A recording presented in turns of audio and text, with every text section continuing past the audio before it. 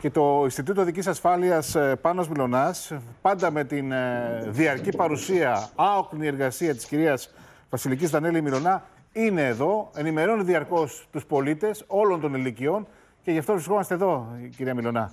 Καλησπέρα από εμάς. Καλησπέρα κύριε Χαριτάτο, κύριε Καραμέρο. Καλησπέρα σε εσάς και όλους τους τηλεθεατές σας. Να σας ρωτήσω κάτι, να ξεκινήσουμε λίγο εξειδικευμένο. Επειδή δεν βρίσκει κάποιος ποδήλατο να αγοράσει. Εξαντλήθηκαν στην αγορά, ο κόσμος παίρνει το ποδήλατό του, βγαίνει έξω, νέοι, μεσαίας ηλικίας, μεγαλύτεροι. Εγώ βλέπω πολύ κόσμο στον δρόμο. Δεν φοράνε όλοι κράνη. Δεν έχουν φώτα όλοι στα ποδήλατά τους όταν νυχτώνει.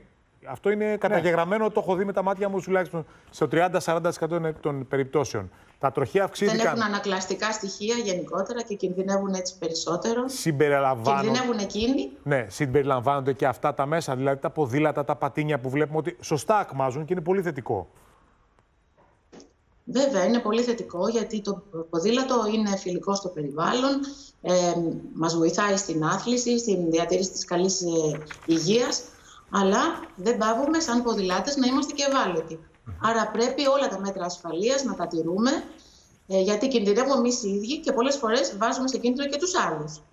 Και τους ε, οδηγούς που μπορεί να προξενήσουν ατύχημα και να βλάψουν και άλλους ε, χρήστες του δρόμου, αλλά και ίσως κάποιους άλλους πεζούς, γιατί έχουμε πάρα πολλές παρασύρσεις πεζών, έχουμε ηλικιωμένους που πλήττονται και μικρά παιδιά. Δυστυχώς στη χώρα μας τρινούμε ακόμη πάρα πολλά τροχαία συμβάντα, παρότι στην τελευταία δεκαετία είχαμε μια μείωση της τάξης του 56%, εξακολουθούμε στους δείκτες να είμαστε πάλι ψηλά, περισσότερο από το μέσο ευρωπαϊκό όρο.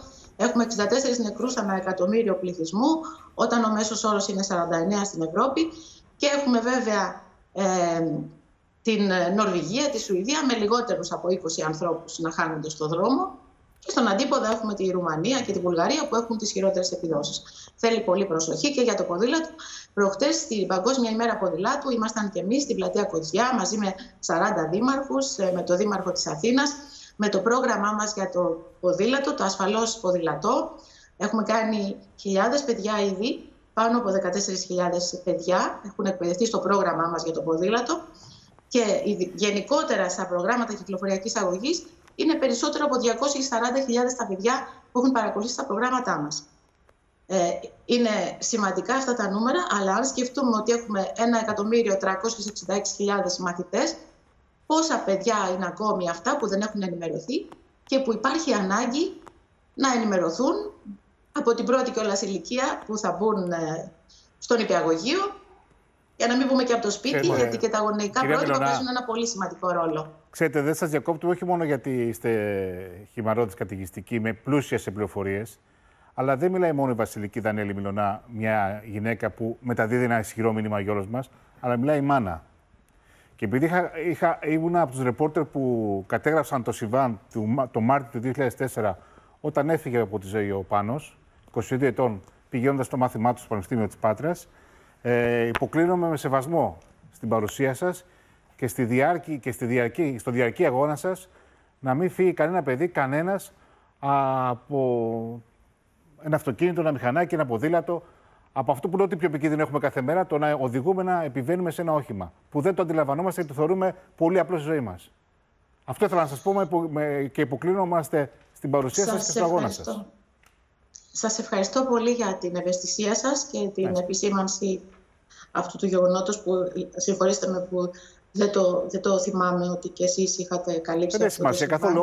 Όλοι οι συνάδελφοι. Όλοι οι συνάδελφοι. Αλλά μου δίνετε την ευκαιρία να πω με, με αφορμή και, αυτό, την, και αυτή την επισήμανση ε, ότι αν ο γιος μου που οδηγούσε σωστά ζούσε σε ένα πολιτισμένο περιβάλλον, σε ένα, με σωστή οδηγική συμπεριφορά ε, και με σε ένα υποστηρικτικό περιβάλλον, όπως λένε και οι ειδικοί της κυκλοφορίας, τώρα θα ζούσε.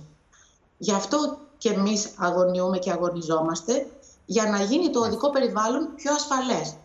Γιατί όλοι κινδυνεύουμε, δυστυχώς όλοι κινδυνεύουμε, ε, γιατί δεν ξέρουμε να περπατάμε, ε, δεν ε, είμαστε προσεκτικοί, δεν είμαστε πειθαρχημένοι. Και αν μειώθηκαν τα τελευταία χρόνια, θέμα... ήταν κυρίως λόγω της κρίσης, γιατί μειώθηκαν οι μετακινήσεις. Αυτή είναι η πραγματικότητα. Κύριε Μινωρά, δεν, ε, δεν, δεν κάνω ανάσυρση γεγονότος. Καταλαβαίνετε για ποιο λόγο το, το, το θέτω δημόσια. Ε, Ναι. Γιατί είναι η δύναμη της μάνας που ε, ισχυροποιεί το μήνυμα. Το καταλαβαίνετε πώς το λέω, με πολύ Ναι, σεβασμό. γιατί είναι ό,τι χειρότερο μπορεί να συμβεί σε ένα γονιό είναι να χάσει το παιδί του. Σας ευ- Και δεν είναι μόνο το δικό μου παιδί, είναι το παιδί της κάθε ελληνικής οικογένειας που μεγαλώνει ε, με θυσίες, με όνειρα και όλα αυτά μπορεί να σβήσουν σε μια στιγμή. Σας ευχαριστούμε Ε, θερμά. γι' αυτό έχει πάρα πολύ μεγάλη σημασία ε, τα παιδιά να μεγαλώνουν με σωστές αρχές, με σωστά πρότυπα από την οικογένεια και στη συνέχεια να μαθαίνουν στο σχολείο. Γιατί η γνώση είναι αυτή που σώζει.